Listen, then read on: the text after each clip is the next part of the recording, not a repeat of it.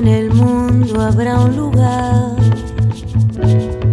para cada despertar, un jardín de pan y de poesía. Porque puestos a soñar, fácil es imaginar esta humanidad